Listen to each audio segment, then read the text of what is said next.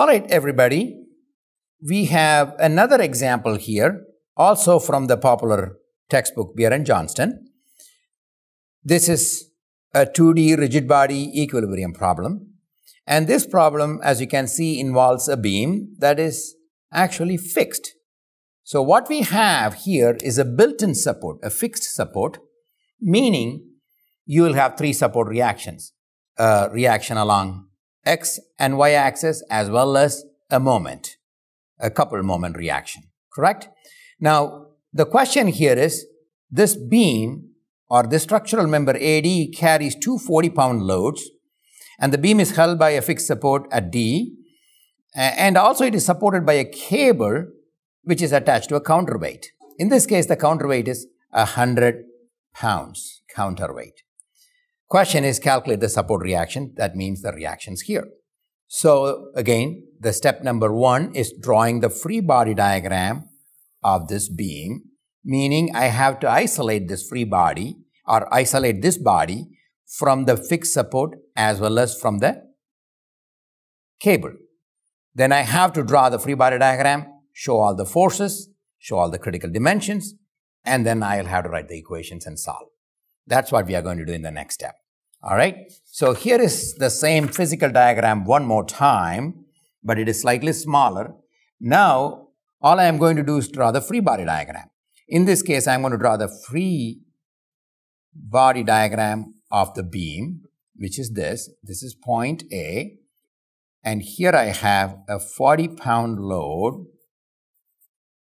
Then I have point B somewhere here which is connected to the cable. Since I cut the cable, the cable is in tension, so I'm going to have a force along that, and that is going to be equal to the weight of the system, the counterweight. And I believe it is 100 pounds, so this should be 100 pounds. We are not going to account for any friction. We assume the cable tension is the same everywhere, so that's 100 pounds. And then I have another 40 pounds here which is an applied load, external load, these two. And then I go to the support here. And there, as you can see, it is a pin support. I'm sorry, it's a fixed support. And as you know, the fixed support have three support reactions. I really do not know the directions. I can guess the directions, but I'm going to assume they are all positive. And if I get a negative answer, that means my assumed direction is incorrect and I can switch to the other direction. So I'm going to assume my vertical component of the fixed support is going to be d sub y and my x component is going to be dx uh, horizontal. And remember this is a fixed support, so I'm going to have a moment about point D. So that's my support reaction. And the free body diagram is almost done, but it is not complete yet. Here is my coordinate system xy that I'm going to use. And my distances are, this distance is going to be from here to here is 5 feet. And this distance is 4 feet and this is 4 feet. I know you cannot see very well here, but that information is right here. Uh, but I want to make sure that you have a self-contained complete free body diagram. So you must show all critical dimensions here. So you don't have to go back to the original diagram. All right, we got a complete free body diagram now. And as you recall, there are three support reactions here due to the fixed support. And you also remember that we can write three equations. That means we can solve for all of them. And that means you should feel good about it and go to the next step after drawing the free body diagram, which is solving or developing the equations. So sum of the forces along x direction should be equal to 0, our first equation. In this case, there is no force other than dx, so my dx is going to be 0. That's my first equation, that also is an answer. Second equation, sum of the forces along y direction equal to 0. So I'm going to say this is my positive y, so negative 40, positive 100, negative 40, that's about it. And then I got my plus dy equal to 0. And if you look at it, I'm going to keep my unknown on the left-hand side. Everything else goes to the right-hand side. So it's 100, 40, 40. So that gives me 20 when it goes to the other side. It is negative 20 pounds. If it is negative 20 pounds means that means my assumed direction of dy is incorrect. It is going to be the other way. Please do not change the free body diagram at this point in time because this equation is based on the free body diagram. So you never change the free body diagram when you solve the problem. We will specify the correct directions later. All right. So we have calculated or determined the magnitude of dx as well as dy. Now we still need to find the moment about point D.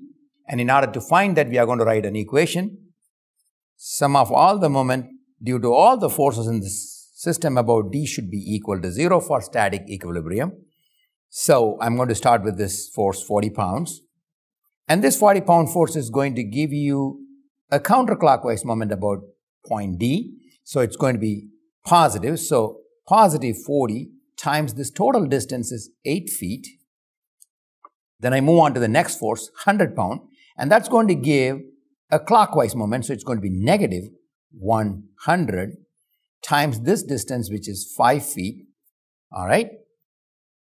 Then I move on to the next force, which is the next 40 pounds, and that's going to give you a counterclockwise, which is positive. So plus 40 times this distance is 4. We are done with all the forces. These two support reactions won't give any moment, as you can see, because there is no moment arm. So what is left here is the moment itself, which is positive, as I assumed positive, should be equal to 0. If you look at this third equation, I have only one unknown m sub d, which is the moment about point D, or the moment reaction by the fixed support. So I can take the unknowns to the other side. So m sub d would be equal, if you take it to the other side, it is going to be 20. 20 pound foot, right? So the final answer, dx equal to 0, d sub y equal to 20 pounds, but